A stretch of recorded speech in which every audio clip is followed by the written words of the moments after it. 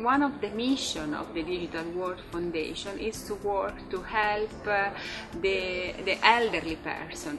Et le volontariat comme tel dans le projet est très important. To totally different generations together. Uh, life skills more than the traditional knowledge that you get in schools. Share and to disseminate good practice at this field. We can learn from each other. This is the main point.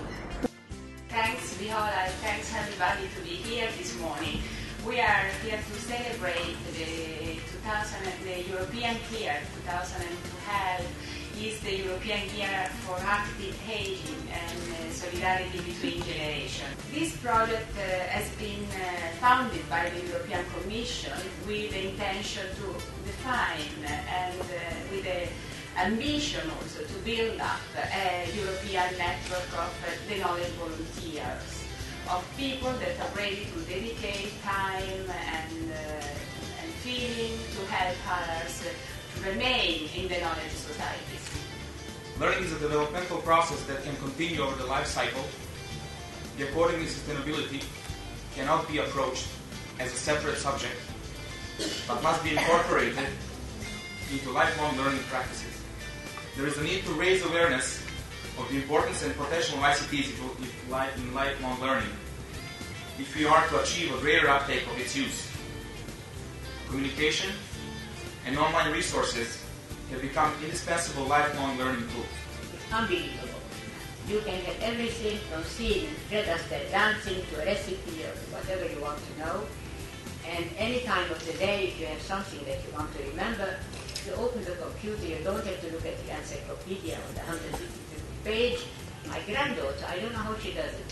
She knows exactly what happens in my computer. So I tell her, Tim, what do I do?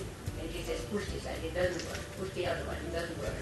But anyway, she's a great help. She's using the computer, I think, for the past 20 years, and she doesn't even have to push the smallest little thing, very, very tiny, and so on.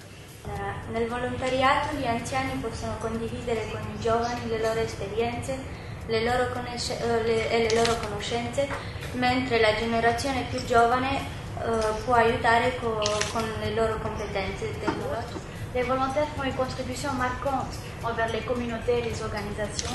Entre autres, ils rendent la main-d'œuvre plus flexible en permettant de canaliser le temps et l'énergie là, là et quand cela est nécessaire, et surtout en permettant aussi à, à de nouvelles idées et à de nouveaux projets de prendre. Aunque no se retribuye económicamente, la recompensa es la satisfacción de ayudar a los demás, a su entorno y a la comunidad. With the skills of uh, relationships across borders, across languages, across generations, uh, and the institutions, today maybe I see volunteer uh, this type of institution, uh, but I see volunteer at the same time is focused on volunteers. But there are hundreds and thousands and growing fastly uh, range of uh, social organizations. In the future, I think that this type of organization can open their doors to volunteers, but with uh, an idea of a formative volunteer in the, in the sense of 21st century education and particularly life skills, entrepreneurship, creativity, communication, innovation, etc. There's a lot of knowledge about that and there's a lot of experience about that.